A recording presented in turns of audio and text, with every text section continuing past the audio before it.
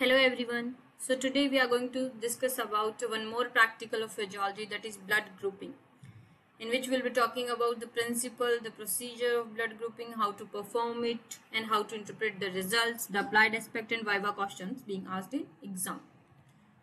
Okay, so here we'll be talking about the ABO, the classical ABO system and RH blood grouping system. Okay, the principle of this practical is this practical is based on the principle of agglutination which is the process when antigen mixed with antibody.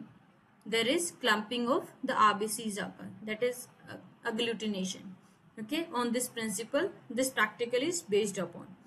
Here you should know that Landsteiner in 1900 discovered ABO system although later on with other scientists in 1940 uh, Landsteiner discovered RH system also.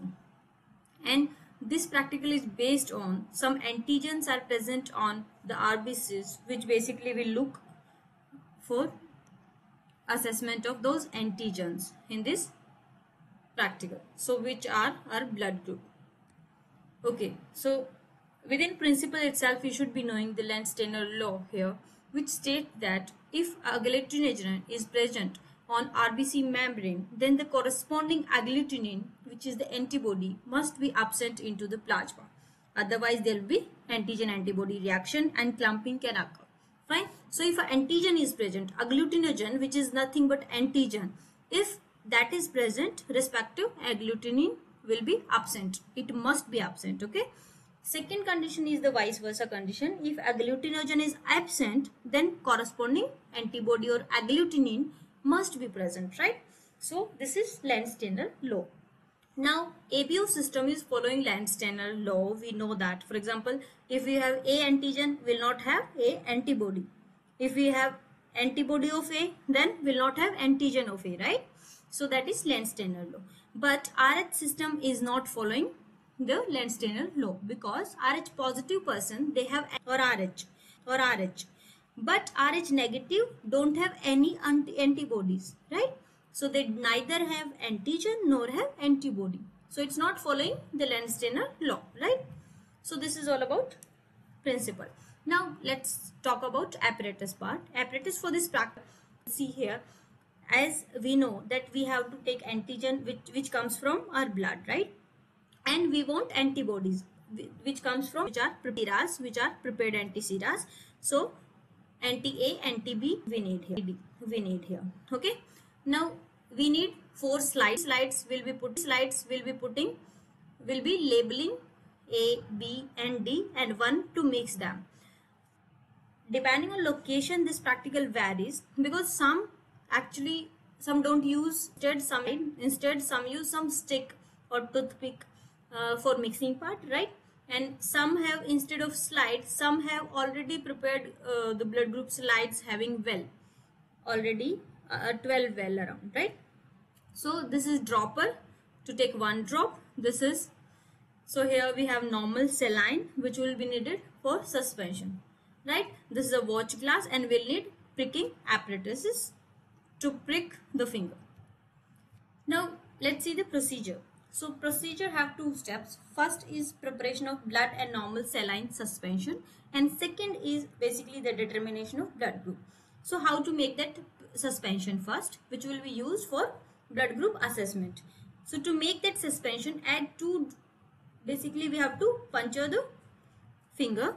So after pricking the finger you have to wipe first drop of blood and then with second drop of blood what we have to do is first of all we have to take 3 ml normal saline in a test tube and put one drop of blood into that 3 ml normal saline.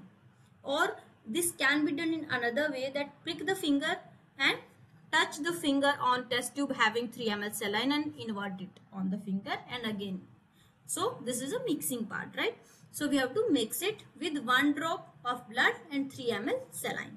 So this gives you 2% of suspension now determination of blood group. So once the suspension is ready, we have to clean the slide. Put one drop of antisera in three slides. We have to label antisera very correctly. So antisera A in A column, B, anti-B in B and anti-D in D1. Right? we can have a separate C section also which can act as control where we'll just put the suspension only, right? Now what we have to do is we have to add one drop of the saline preparation, the blood saline suspension to each antecedent A, B and D, right? Now wait for 10 minutes. We have to mix it and wait for 10 minutes and we have to see for agglutination. Okay, with presence or absence of agglutination, we can determine the blood group. Fine. Now let's see how. Here we should know, here you can see here that these are some blood groups shown here. So you have to differentiate uh, one is things here. One is Rouleaux formation, one is agglutination. So here you can see the dust like particles which is agglutination and here you can see the blood is collected uh, at one place toward center or toward periphery whatever it is. So this is Rouleaux formation. Fine. Here you can see that how we'll be talking about. So here are the control groups okay and this is the D antigen. So A, B and D. So here we have agglutination in A and in D. So this is A positive. Here we have agglut we don't have agglutination in A. In fact, we have agglutination in B and D. So this is B positive. And when we have agglutination in A, B, this is AB and in RH that is D that is AB positive. We don't have agglutination anywhere else. So this is O negative blood group. Okay. So here I have not written positive negative because I want to summarize it here. I wanted to just show how really the blood look like, the agglutination look like and you have to rule out these, these, these are basically Rouleaux formation. Now let's see how we determine blood group. So here you can see anti-A, anti-B, anti-D we have already labeled and this is control. Now how to basically determine the blood group.